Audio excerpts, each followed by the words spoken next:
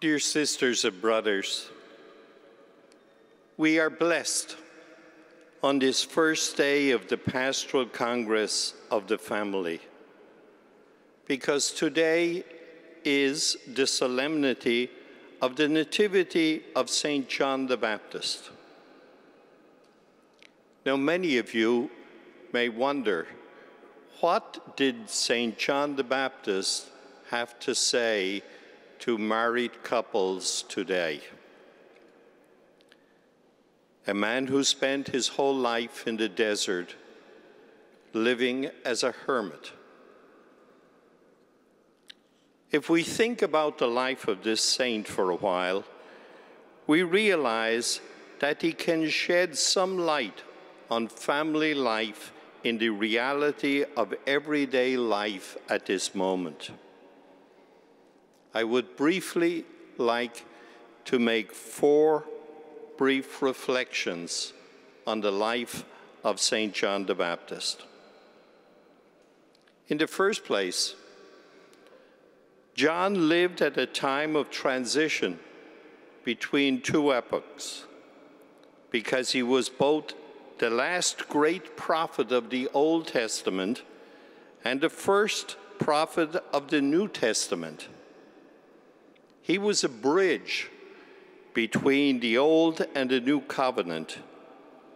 He embodied the tradition of the great prophets of the past and anticipated the new ministry of Jesus' disciples.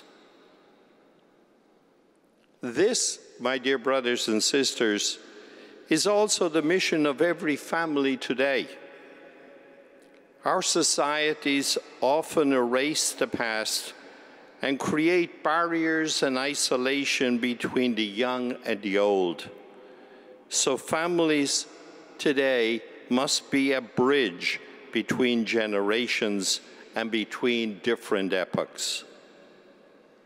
Every family preserves and passes on traditions from one generation to another both cultural and religious, that they have received from their parents and grandparents.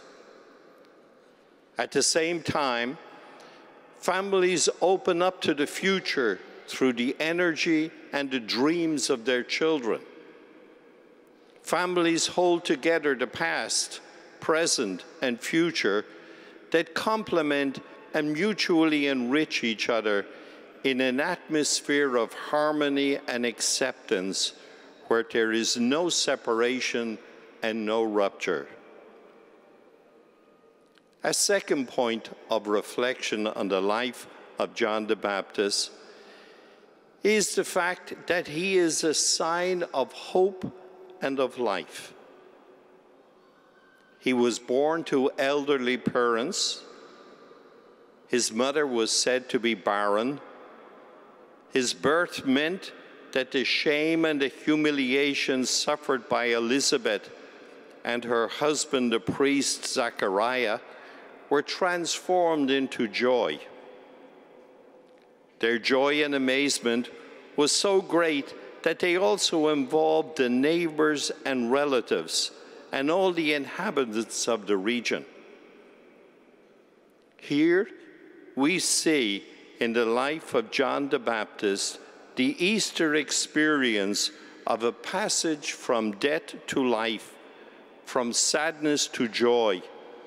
Here we see the experience of the presence of Christ in the life of the family. There are so many situations of suffering, humiliation, and discouragement that our families feel today. These moments of pain and discouragement may result from the relationship between the spouses in bringing up their children, often a very complicated and demanding task, or due to health or financial difficulties, or many other problems that we all experience each day. Yet, even in the sterility of our existence, and even in those circumstances when it seems too late, God can always intervene, as in the case of Elizabeth and Zachariah. God invites each one of us to have faith and hope, to open ourselves up to something unexpected. You too and your families must never lose hope. A third reflection that we can make on the life of St. John the Baptist is listening to the first reading. We heard the prophet Isaiah utter the words that the liturgy applies to him. The Lord called me from birth, from my mother's womb, he gave me my name. John is a great witness to the sacredness of life from the first moment of conception. In fact, even before he was born, John, at the moment of Mary's greeting, recognized the Lord Jesus and leaped for joy in Elizabeth's womb. A call from God reached him while he was still in the womb. It invested him with the great task of preparing the hearts of humankind to receive the Savior of the world. All of this helps us to understand another key dimension of the family vocation to be guardians of the sacredness of human life from the first moment of conception to natural death. The life of each child must be defended and protected precisely because God has great plans for that child's goodness and holiness right from the very beginning. God calls, called, God's call has reached your children too, right from the beginning, so that all of them may be saints of tomorrow and will make our world a brighter place for all. And finally, there is one more thing I would like to say about St. John the Baptist. The gospel presented us with a decisive moment for every Jewish person circumcision, baptism, the imposition of a name. This rite marked the entrance of every newborn into the covenant relationship between God and the people of Israel, who are called to be a priestly people and recipients of God's blessings. When a child was named, he or she received a name that also expressed a connection with the mission of Israel because it usually evoked his or her kinship or tribe or ancestors. Not so for Elizabeth and Zachariah. God indicated a new name through the angel Gabriel, which none of their kinship had ever borne, and which therefore caused some perplexity, as we can read in the Gospel of Luke. He was to be called John this name means the Lord is favorable, God is grace, God is merciful. This name indicates that God, at that precise moment in the history of Israel and mankind, wanted to bring mercy into the world. Perhaps, we do, not, think, about, it enough but John, John the, Baptist, the Baptist, although living a life of austerity, was a herald of God's mercy. He announced that the Messiah was coming, who would bring God's grace and mercy to every human being.